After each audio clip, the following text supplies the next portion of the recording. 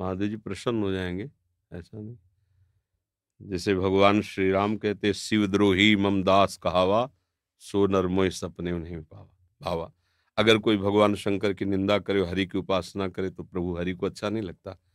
ऐसे कोई शंकर जी की उपासना करे और हरि की अवहेलना करे तो काकभूषण चरित्र पढ़ के देख लीजिए। शंकर जी ने ही श्राप दे दिया। उन्हीं का मंत्र जप रहे थे, उन्हीं के मंदिर में थे।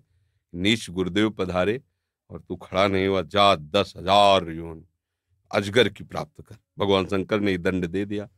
तो भगवान शंकर और भगवान श्री हरि ये परस्पर कहने को दो हैं, एक ही हैं। तो अगर हम राम कृष्ण हरि नाम सुनाते हैं या राधे श्याम नाम सुनाते हैं तो इससे भगवान बहुत जल्दी प्रसन्न हो जाएँगे। जैसे उदाहरण भी तो होना चाहिए ना कैसे कैसे आप कह रहे हैं? मार्कंडे जी भगवान श्री हरि की आराधना कर रहे थे। हरि ध्यान हरि चिंतन हरि भजन में मग्न थे। महादेव जी अम्बा सहित नंदिकेश्वर में सवार होकर के वहाँ नज़दीक अब इतने ध्यानस्थ थे कि उन्होंने आँख ही नहीं खोला। फिर महादेव जी ने अंदर का उनका ध्यान बदला और अंदर पहुँचे महादेव जी अम्बा सहित। तो, क्योंकि जो ध्यान हो रहा था हटा दूसरा ध्यान आया ना आँख खोला सामने देखा जो ध्यान में थे वही सामने खड़े। तो उन्होंने कहा, जो भगवान श्री हरि की ऐसी अनन्य भक्ति करता है, मैं अपनी तरफ़ से उस पर विशेष कृपा करता हूँ। जैसे प्रचेताओं का चरित्र पढ़ के देखना, सरोवर से भगवान महादेव जी प्रकट होकर उनको उपदेश किया, भगवान श्री हरि का जो भक्त है, उस पर महादेव जी बहुत प्रसन्न होते हैं, बहुत जल्दी प्रसन्न होते हैं और जिस पर महादेव जी प्रसन्न होते हैं, उसे श्यामा श्याम की प्रीति प्रदान ही करते जैसे नरसिंह मेहता को सीधे रास में ले गए महादेव जी। परम वैष्णवाचार्य अगर कोई महादेव जी का उपासक हरि से द्रोह करता है या हरि उपासक महादेव से तो दोनों का पतन है, वो जानते नहीं इस रहस्य को। एक दूसरे के कहने के हैं बकाया महादेव जी से पूछो जाए कि आपका गुरु कौन? तो कहेंगे, श्री हरि वही इष्ट है, वही गुरु है।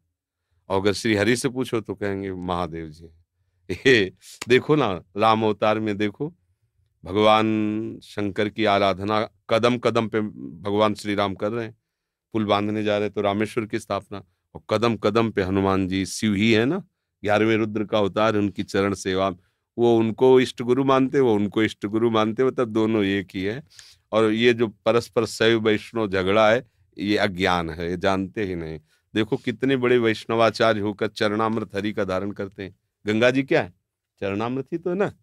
तो अब ऐसा कि हम हरि नाम जब पे महादेव जी नाराज़ हो तुम हमारे भगत हो, तुम हमारा नाम नहीं ऐसा ले वो जब प्रसन्न होते तो यही देते हैं। आप क्या आराधना करें वो आप जाने पर? हमारा जीवन तो उन्हीं के चरणारविंद में अनन्य था। संन्यास वही, भेष वही, उद्देश्य। विरक्त हुआ। उन्होंने हमको वृंदावन दिया। प्यारी जू प्यारी जू की उपासना दी। उन्होंने उन्हीं का सारा खेल है। हम तो जानते भी नहीं थे क्या है वृंदावन, क्या है श्यामा से। बिल्कुल नहीं। परिचय ही नहीं। काशी में घाटों पे रहना उन्हीं क्या है। तो उनका कृपा प्रसाद जब प्रकट होता है तो ये प्रेम प्राप्त होता है, हरि का प्रेम प्राप्त। सभा में, अयोध्या में सबको बैठाल करके भगवान श्री राम ऐसे कह रहे हैं मैं राजा हूँ, इसलिए बोल रहा हूँ, ऐसी बात नहीं। और एक गुपुत मत, सबई कहो कर ज़ोर, शंकर भजन बिना नर भगति न पावे कह रहे अयोध्यावासियों, मैं राजा होकर ऐसा नहीं, मैं बिल्कुल दैन्यता से कह रहा हूँ, हाथ जोड़ के कह रहा हूँ, और ये गुप्त बात है मेरी।